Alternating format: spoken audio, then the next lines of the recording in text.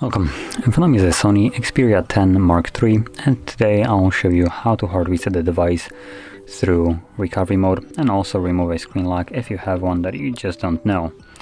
So as you can see I do have a pattern set and assuming I don't know it, I'm gonna progress by powering off the device by holding the power key and then selecting power off. Uh, and once the device is off you want to hold power key and the volume down. You will feel a vibration of the device at which point you can let go of the keys when you see the Sony logo. And this will then promptly boot you into recovery mode. So in this mode you will need to use volume keys to navigate up and down as you can see, and power key will be used to confirm whatever is selected.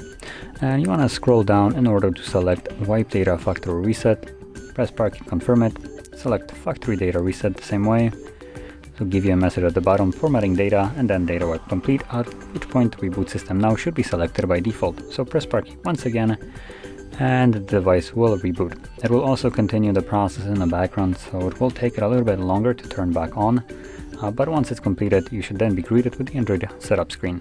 So I'll be back once that is visible.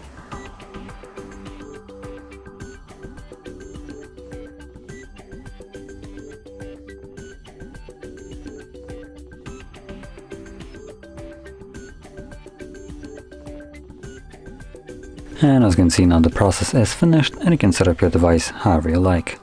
So if you found this video helpful, don't forget to hit like, subscribe and thanks for watching.